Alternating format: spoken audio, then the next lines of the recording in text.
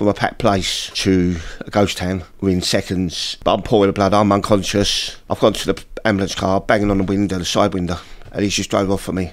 Wow. He was on the first response. Yeah, I don't know who I am, so they can't stop.